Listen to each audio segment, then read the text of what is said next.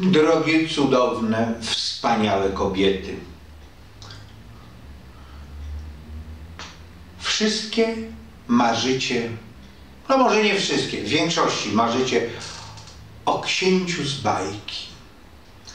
To, jak zdobyć księcia z bajki, jest łamigłówką. Jak poznać księcia z bajki, rozkochać go w sobie i być z nim na zawsze. Jest to łamigłówka wprost nie do rozwiązania. Czemu nie do rozwiązania? Ponieważ marzą o tym kobiety, prawdziwe kobiety, które nie są księżniczkami. Czyli jeżeli nie jesteś księżniczką i nie zachowujesz się jak księżniczka, to jak spotkasz księcia z bajki, to on cię nie potraktuje jak księżniczkę i nie zakocha się w tobie.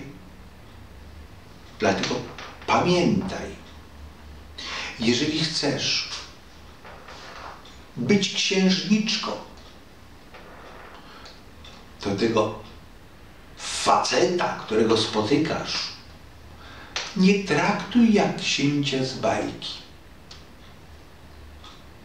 Bo on możliwe, że tego nie zrozumie. Potraktuj go jak giermka. Potraktuj go jak kogoś, kto Tobie ma służyć.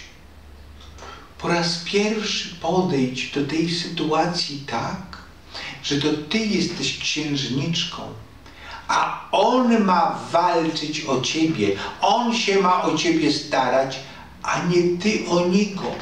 Bo jeżeli Ty będziesz walczyła o Niego, to Ty staniesz się co najwyżej dworką, a nie hrabinią, nie księżniczką. Dlatego nie walcz o księcia z bajki. Zachowaj się jak kopciuszek. Czyli jak? Daj mu swoją wizytówkę i pozwól się odnaleźć. Mam nadzieję, że ten króciutki filmik pozwoli Ci chociaż przez moment pomyśleć, czy przypadkiem nie zmaściłaś ostatniej znajomości, zachowując się jakbyś miała do czynienia z księciem, a on był giermkiem? Lub nie do końca zachowując się jak księżniczka. Pomyśl.